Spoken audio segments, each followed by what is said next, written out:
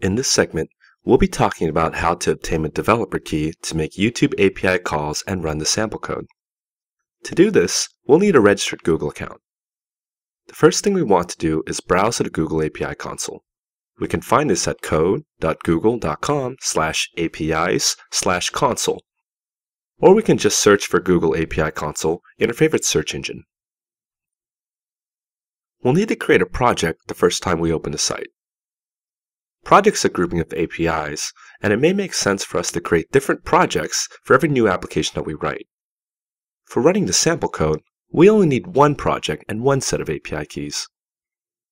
After we enable our project, we'll need to enable some services. Let's click through to the Services menu if we're not already on this page, and scroll down.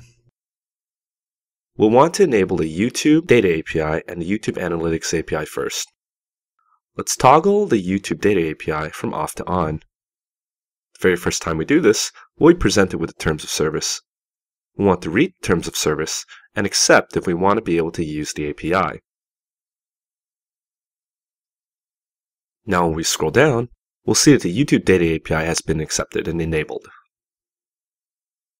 We'll click on to also enable the YouTube Analytics API. The search by topic code sample requires the use of the Freebase API, so we'll need to enable that as well. There's a separate terms of service that we'll need to read and accept.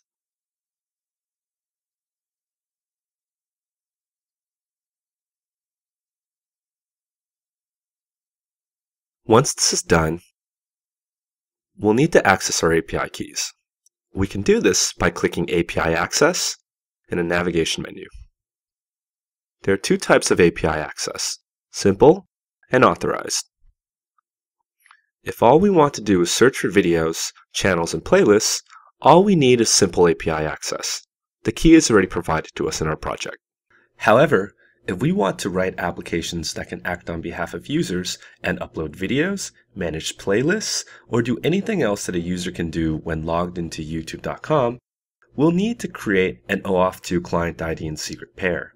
We do this by clicking the button that says Create an OAuth2 client ID. We'll need to give us a product name. We may want to update the logo and a homepage URL. Click Next when we're done. Select Web Application. We'll need to provide a site or host name. We can edit this later. Since we're running sample applications, we'll set it to localhost to point it to our own computer. Click Create Client ID one more time.